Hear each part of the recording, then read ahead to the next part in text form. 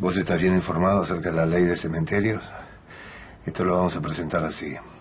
Esta mujer se le muere el marido, ella lo adoraba y lo entierra en el jardín para, por supuesto, estar cerca de él. A lo sumo va a haber violado la ley 2629. Esto se paga 600 pesos de multa. ¿Qué pasa?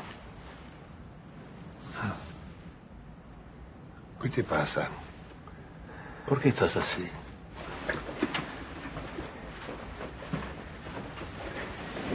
¿Qué es lo que pasa? Nada, no pasa nada.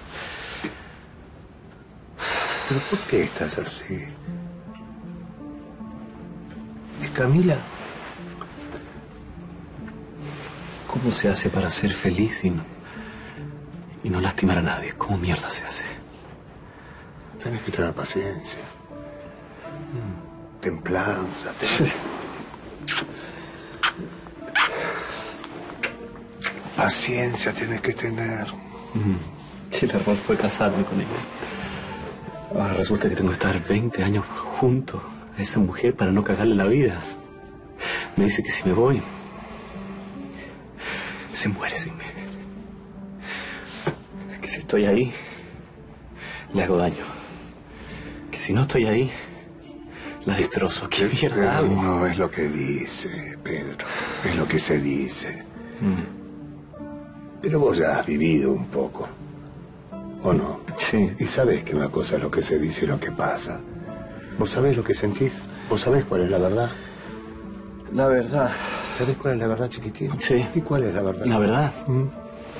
es que yo quiero a esa mujer. ¿Mm? Por lo tanto,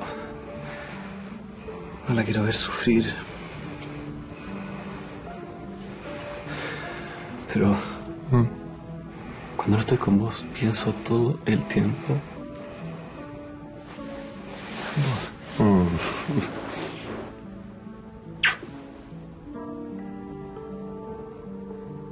Mm. Yo estoy acá.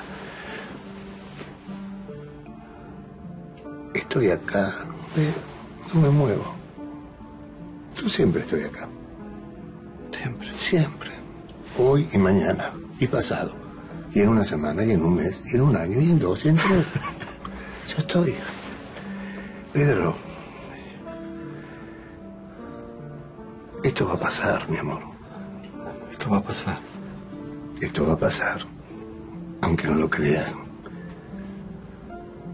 Esto